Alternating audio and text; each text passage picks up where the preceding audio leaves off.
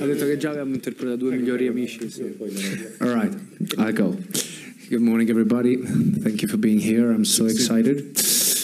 And uh, yeah, we did a movie that was so so important for us called Don't Be Bad, Non Essere Cattivo.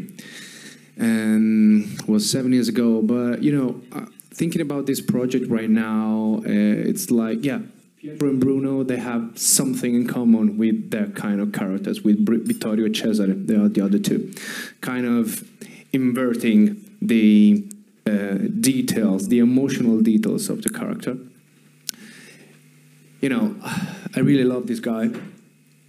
So it's so easy for me. I don't need to pretend to love him. And this is a good basement to build up something there.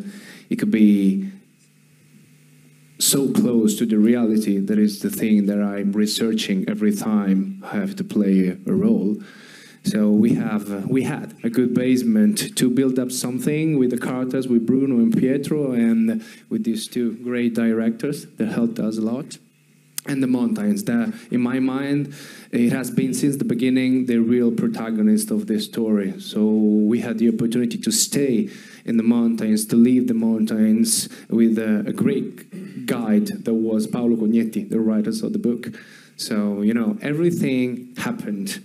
It was a continuous discovering of, some, of something. Uh, every time we felt just a little bit loose, we just need to remember that we really love each other and everything was so easy.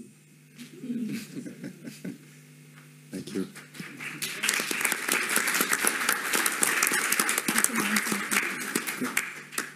You have to say, oh, yes. Uh, no, we had a friendship before, so I think that we use this filter to to create this other friendship uh, between Pietro, Pietro and Bruno.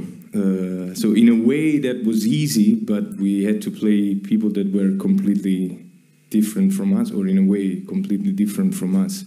But yeah, in a way it was easy because we, we did it hand in hand, uh, like it was seven years ago, and we we were away from seven years, like professionally, um, far from each other, and then we met on this eight years, on these eight mountains, thanks to these two wonderful people here that I want to really thanks and really thanks for your honesty and your braveness, really.